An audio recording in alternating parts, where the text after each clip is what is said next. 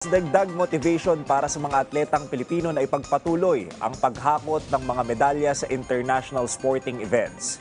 Ito ay sa pamamagitan ng Philippine Olympic Committee Special Incentive Trust Fund na magbibigay ng additional cash incentive sa mga atletang makakapag-uwi ng medalya. Ito ay isa sa inisyatibo ni, Ramon S. Ang ng San Miguel Corporation, Manny V. Pangilinan ng MVP Sports Foundation at Charlie Gonzalez ng Ulticon Builders Incorporated. Bukod rito, nakakuha rin ng ang manlalaro ng insentibo mula naman sa Philippine Sports Commission na nakapagbigay ng higit 11 million pesos sa mga Pinoy athlete na nakasungkit ng medalya sa 34 SEA Games.